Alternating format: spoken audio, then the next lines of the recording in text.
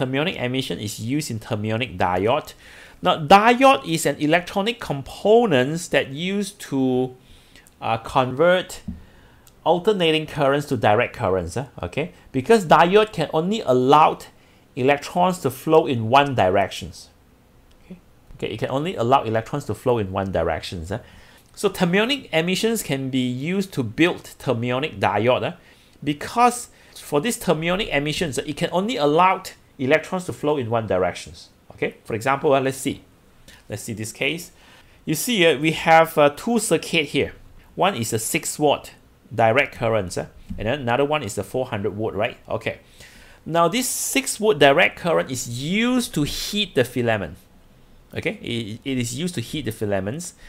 And after heating the filament, uh, suppose we have uh, this a piece of metal here, okay? So this filament will heat the metal, the metal will release electrons, okay? We have another circuit, okay? So this 400 volt circuit, uh, the negative, uh, the negative terminal is connected to the filament and the positive terminal is connected to another piece of metals called the anode. Uh, and the component that release the electron is called a cathode. Uh. So we have a cathode here, and then we have anode here. So the, the cathode here will release electrons. The electron will be attracted to the anode uh, because the anode is positive. Because this is positive, uh, so therefore this is also positive. So the electron will be attracted to the positive, uh, positive uh, anodes, and then the electron will go to the shell, okay, and then the electrons will move in a cycle. Keep on moving, uh, this complete the circle.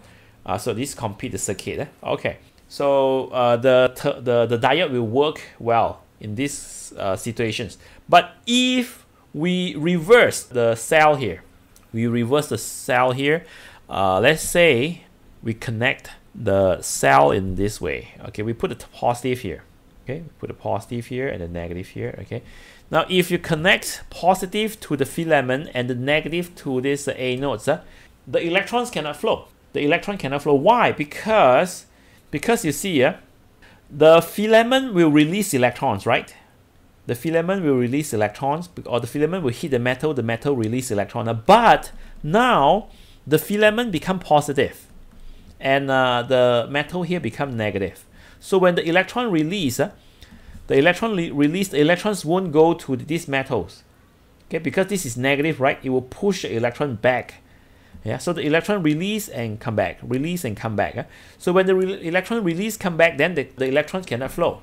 There's no electron flow in the circuit. So then so there's no current.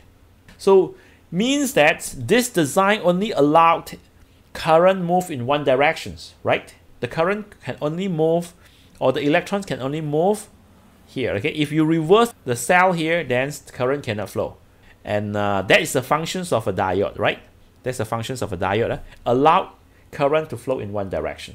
So that is the one of the use of uh, thermionic emissions. Uh, is used in uh, thermionic diode. Is used in thermionic diode. Diode is an electronic component that allow uh, current to flow in one direction. Um, but this is not uh, the major use of thermionic emission. You just need to know. You just need to know because in exam sometimes they may ask you, okay, uh, they give you a, a list and uh, then they, they ask you which of the following is the use of thermionic emissions. Okay, then you need to know that thermionic diode is one of the applications of thermionic emission. Eh? But th that is not the topic of discussions today. The, the topic of discussion is cathode ray. Eh? Cathode ray.